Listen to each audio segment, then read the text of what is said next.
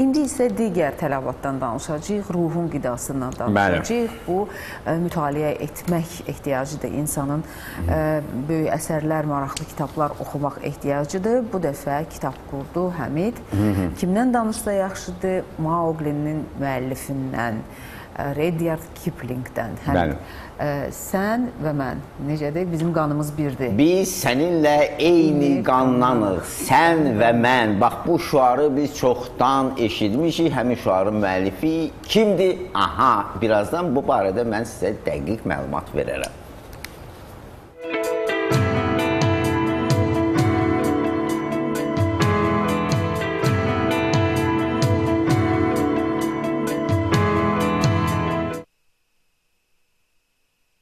Yaradıcılığı ilə biz lap körpəliyimizdən, lap uşaqlıqdan tanışıq. Əlbəttə Mauqli multfilmi bunu kim görməyib? 5 hissəli.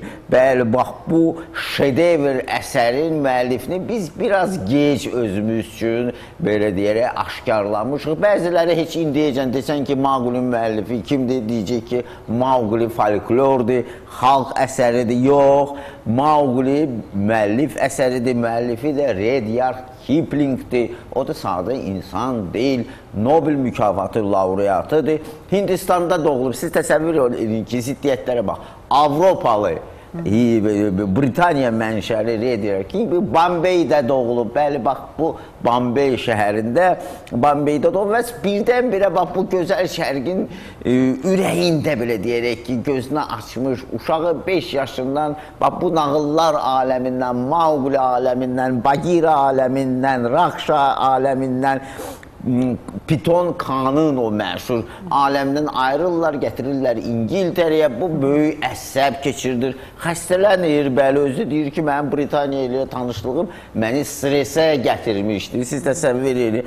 Bütün bunlarla yanaşı Rudyard Kipling möh möhtəşəm ingilis pərəst olub. Mən deyərdim hətta irqçi olub. Onun bir anlayışı vardı ki, ağ insanın bir missiyası var dünyada. Bir çox şeirləri də həmin ağ insanın missiyası ilə əlaqədardır. Məsələn ondadır ki, bəli, bəli bəziləri Mauqli filminə baxır, orada olan o humanist bir çağırış ki, quraqlıq dövründə, yəni yağış yağmayanda qurtla quzu gələ bir yerdə getsinlər, su başına bir yerdə su içsinlər, müharibələr gərək olmasın. Bax bu çağırışdan biz xəbərdarıq. İndi də quraqlıqdır da, xüsusən Avropada. Yəni e, Mauqli filminin fəlsəfəsinə görə indi bütün belə deyək, acla varlı bir yerdə nə isə dolanmalıdır tarix boyu belə olmayıb ağ insanlarla digər dərili insanlar arasında uçurum var.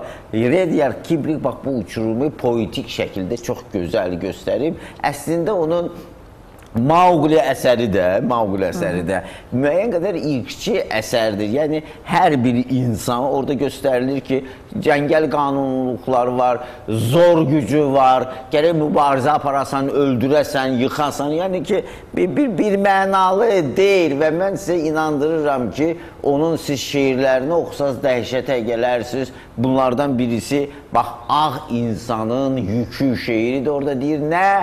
Belinizi e, dikəltməyin. Bax şey mən tərcümə eləyirəm. Nə azadlıq istəyirsiniz, qoy yuxuda sizə azadlıq görünsün. Bax belə aha sahib Bizdə sahib yaxın şərqdə İngilis müstəmləkəçilərinə sahib deyirdilər. Və bu sahib mövqeyindən bu cür şeirlər yazıb, onun bir digər məşhur şeiri isə şərq şərqdir, qərb qərbdir. Onlar bir yerdə heç vaxt görüşməyəcəklər. Şərqlə qərb heç vaxt dil tapmayacaq. Bu da Rudyard Kiplingin şuarıdır. Məşhur şeirində o göstərir ki, bir İngilis varmış, onun atını, madyanını oğrayırlar, oğrayır kimlər, şərqlilər gətirirlər Kamal adlı bir Əfqan mücahidinə İngilis belə qüdrətli İngilislə qüdrətli şərq insanı Kamal görüşürlər, hörmət eləyirlər, deyirlər ki, bəli biz gücə hörmət eləyirik, ancaq sən sən sən şərqsən, mən qərbəm, bizim həyatlarımız, taleylərimiz başqadır.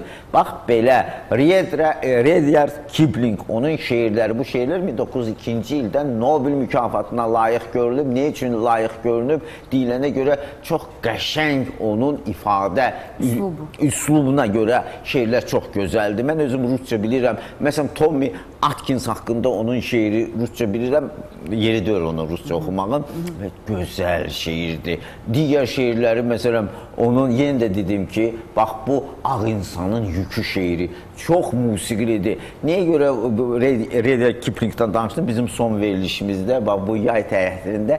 Çünki siz də bax bu yayda istəyirəm ki, bəli, cünglələrə gedərsiniz, okeanın o tayına, Mauqli kitabını açarsınız. Eyni halda siz qərbdə, xaricdə cüngliyə, cəngəlliyə getməyə ehtiyac yoxdur, çünki o əsəri oxuyanda əsər özü aparır səni. Əsər özü Burada... aparacaq və orada heç vaxt unutmayın, xaricdə unutmayın ki, ağ insanlar əslində çox irqçidirlər. Yəni çox onları qaşısan, bəli, onların çox təhlükəli tərəfləri ilə də görüşə bilərsiniz. Gördünüz ki, biraz yollarından çıxırlar. Bax bu e, belə deyək də qərb imperialistlərinin e, nəticələri şeirlər Rudyard Kiplingin bir-iki şeirini onların qulağına oxuyur. Amma yaxşı olar ki, onlara deyəsiniz ki, biz səninlə eyni qandanıq. Sən bəli, və bəli. mən.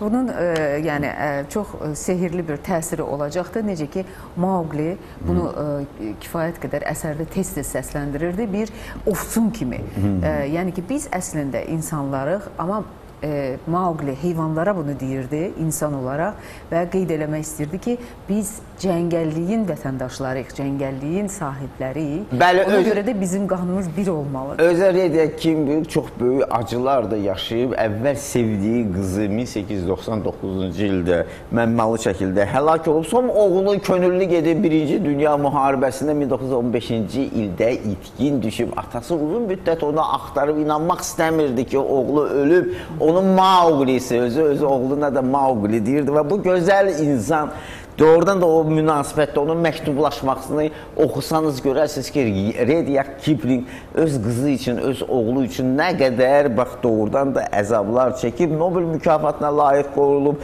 hə, özü o bastırılıb İngiltərədə Westminster abbatlığında şairlər guşəsi var. Bax bizdə necə fəxri xiyaban var, onlarda da Westminster abbatlığında mənim məzarlığı orada şairlər guşəsində Rudyard Kipling dəfn olunub. İngilislər də ədəbiyyatı, şeiri çox sevirlər, necə biz çox yəni, sevirik. Mən bir şey qeyd eləmək istəyirəm ki, bax həmin o Mauqli bir e, ifadəyə çevrilibdi. E, cəngəllikdə və yaxud təbiət qoyunda itib sonradan bir müddət yaşayan Mən. be, belə e, insanlar olubdu. Onları tapıblar sonradan Mən. bir müddət sonra. Hansısa qəza nəticəsində itib bu uşaqlar. Onlara ümumi belə bir Mauqli adı. Mauqli Azərbaycanlılar isə belə adamlara qədimlərdə tapdıq deyirlər. Həmin əfsanə də qədim türklər türklərin mənşəyinə həsr olmuş əfsanəyə çox bənzəyir. Çünki qədim türklərdə belə bir fikir vardı ki, bax sən dediyin kimi, birdən-birə tayfanın bütün nümayəndələri ölür, qurd gəlir, xilas eləyir türk çocuq. Sonuncu elə Mauqlini də qurd xilas eləyir. Bəli, qurd xilas eləyir. Beləliklə bu qədim türk əfsanəsidir. Belə elə fikirləşək. Bəli, bilmək olmaz, bəlkə də elə deyək, Kipling elə əslən türk olubdu. Hə, yaxşı. Yəni türk qanunda. Hə, bunu desək daha çox oxuyucular əsərlər.